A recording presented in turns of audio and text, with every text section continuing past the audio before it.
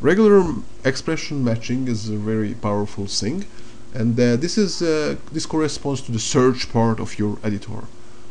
There is also the search and replace in your editor and that's what we call substitution in Perl.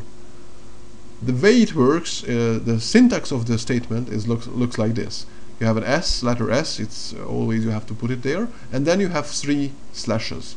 Between the first two you have a pattern, a regular expression just we have, as we saw earlier, and between the second and the third slash there is a replacement. There is a string that acts like a double quoted string, so you have interpolation. You don't have to put quotations around there, you just put the slashes there.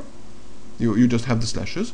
And then what it what happens is that this will try to match something. If there is a match, then everything that was matched, the part that was matched in the string, will be replaced by this string.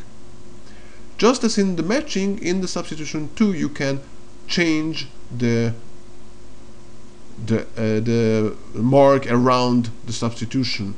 So instead of slashes, three slashes, you can, for example, use curly braces. You can use two pairs of curly braces. So that's what I, I really like. You have put a pair of curly braces around the pattern and one around the replacement. Let's see a couple of examples. I have a line here, uh, string ABC123DEF, and here is a substitution. This is how we use it. We don't put it into a condition usually. It just say, okay, if there's a match, do it. If you don't, just disregard it. So what does this do? Uh, backslash d matches digits. Digit. Plus means one or more. So this will match the digits in here and we are telling it to replace it with one single space. So it will match all the three digits and replace the three of them with one space.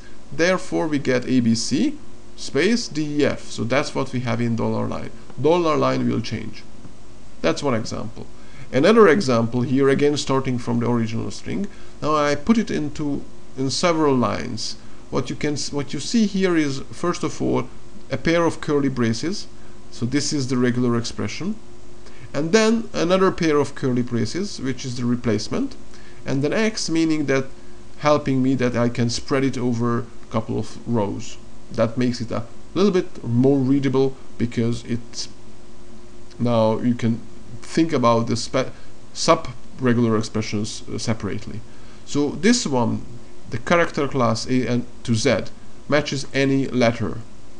Star means zero or more times so this will match the ABC Backslash d matches a digit, star means 0 or more, this will match the numbers. And then again the same regular expression that was in the beginning, it will match the rest of the string def. Once the matching is finished, the things that were matched by the parentheses, by the content of the parentheses, are saved into $1, $2, and $3 respectively. Here we are using those three variables already because the matching is already finished. So what we'll do is we will put them in a different order. First the third part, and then the second, and then the first.